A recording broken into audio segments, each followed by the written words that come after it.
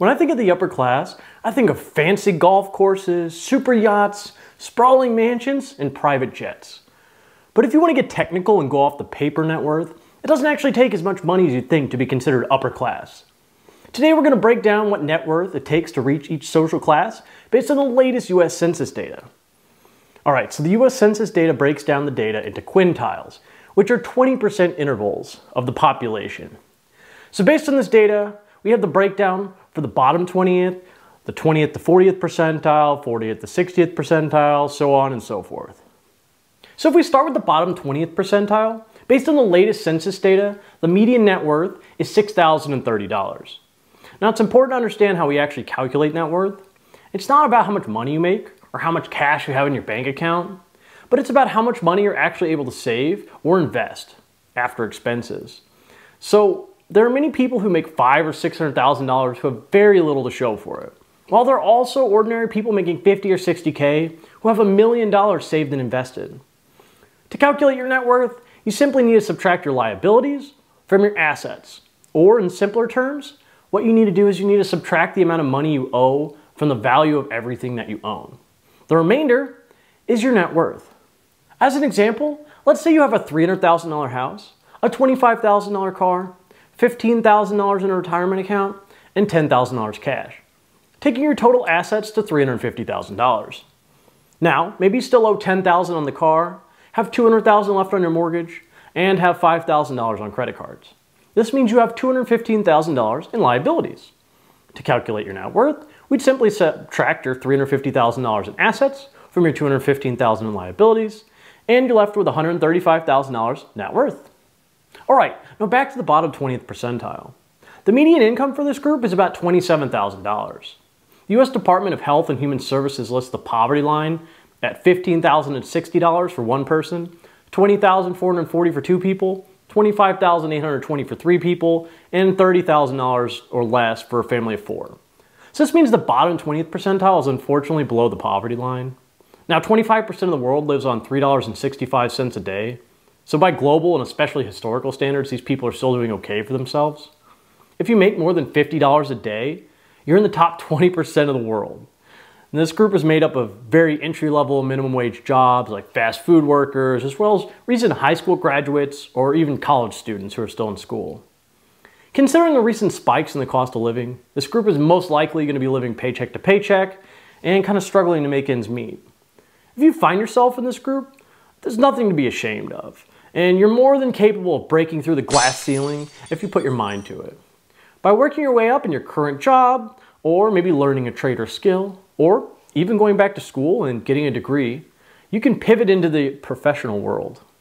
Working our way to the next quintile, the 20th to 40th percentile, or otherwise known as the lower middle class, we'll see a median net worth of $43,760.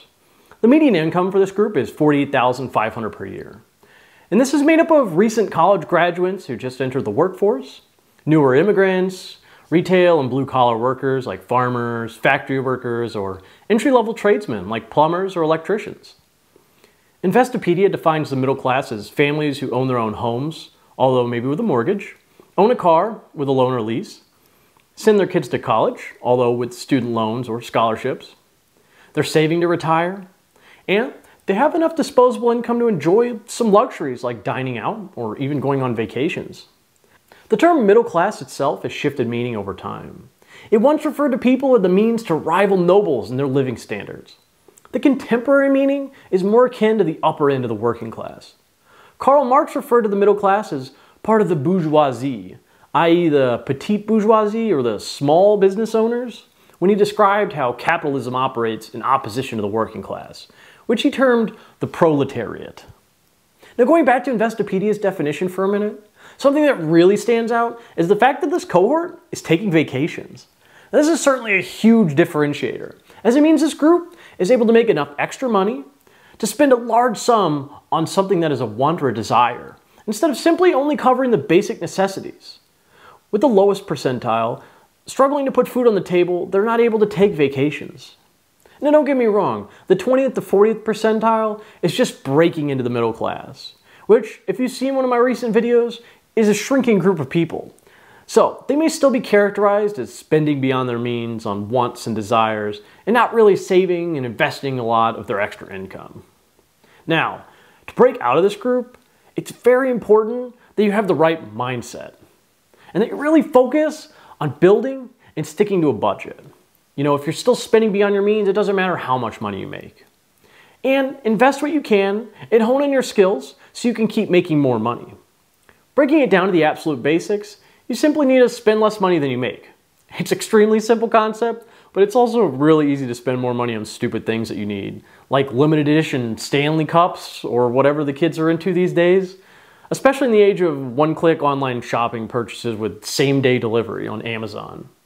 The next quintile of 40 to 60% is just simply the, the middle class.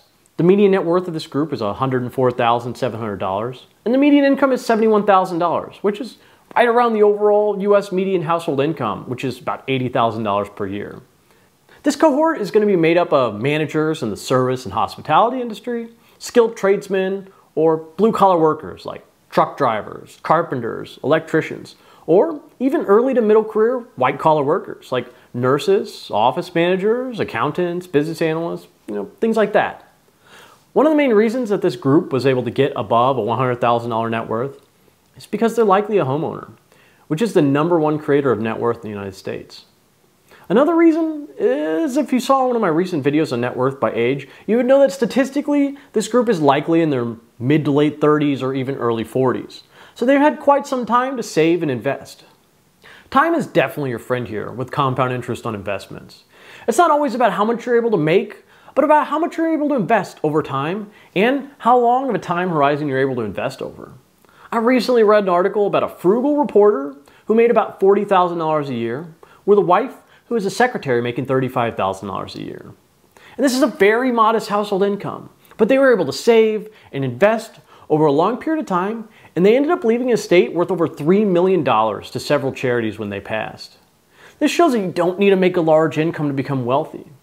For instance, if you started investing $300 a month into the S&P 500 at the age of 20, returning an inflation-adjusted 8% per year, your investment would be worth well over a million dollars by the time you turn 60, which will put you well into the upper middle class, or the top 60 to 80% of American households, which have a median net worth of $201,800. This group has a median household income of around $125,000, Although, based on the previous example, you definitely don't need to make that much money to accumulate enough wealth to land yourself in this group. The upper middle class is going to be composed of specialized blue collar workers, like some high end tradesmen, including long haul truckers, oil workers, dock workers, or even air traffic control. It also includes white collar workers with advanced or specialized degrees, like doctors, lawyers, psychologists, engineers, software developers, or even mid to late career business professionals. It also includes many entrepreneurs and small business owners. Now, there's also going to be some psychological or cultural differentiators between the lower and the upper middle class. Where the upper middle class is going to be much more likely to invest in stocks or real estate, they're also going to have a much higher rate of home ownership. And they might even have international vacations instead of a road trip to Florida or Alabama. Now, just because they have this much income or net worth doesn't necessarily mean they're going to be thriving. There are some major factors to consider here, like location and the cost of living. For example, it would take an income of over $300,000 to have the same lifestyle in Manhattan, New York, New York City, as it would in Kansas City, Missouri. And this goes the other way around as well. A salary of $125,000 in Manhattan is equivalent to $50,000 in Kansas City. So the upper middle class folks in the Midwest are going to feel way more upper middle class than someone in Manhattan who's barely making ends meet. According to Fortune, almost half of those making over $100,000 a year are living paycheck to paycheck, as well as over one third of those making over $200,000 a year, which is actually insane because you have humble millionaires who are making $70,000 a year in lower cost of living areas in the US. Sometimes it feels like the big cities in the US are entirely different countries. And knowing how to manage your money and your cost of living are major factors in your net worth. If you're making $200,000 and dressing head to toe in Gucci, living in LA, you might look rich on the outside, but in reality, you might be worth less than an innkeeper like up in Nebraska. All right, to be in the upper class or the top 80th to 100th percentile, you'll need a median net worth of about $608,900. The median income when this survey was done was $187,700. This was pre-pandemic, so adjusting for inflation, this would be over $230,000 in today's dollars. These individuals are likely in tech or senior finance position like senior management or stockbrokers, investment bankers, or very specialized fields like lawyers, dentists, surgeons, cardiologists, and even psychiatrists. This will also include senior executives, entrepreneurs, and business owners. That being said, this could include a mom and pop investing $300 a month over the long period of time, just like our example from earlier. Or like John and Carol, the frugal reporter and secretary making $75,000 a year, growing a net worth of over $3 million. This group is going to be most likely focused on long-term wealth creation, like investing, especially in their retirement. And they're also going to be focused on making sure that their children get good degrees, especially in something like STEM or law, something that has a high paying job. These individuals are also likely going to have a lot of their equity in their homes. The wealthiest individuals are going to make the majority of their wealth from investments and not outright income. All right, well, thank you for watching. If you enjoyed this video, please give me a like, subscribe, and let me know below. Did you think the upper class had more money than this? I'll see you next time.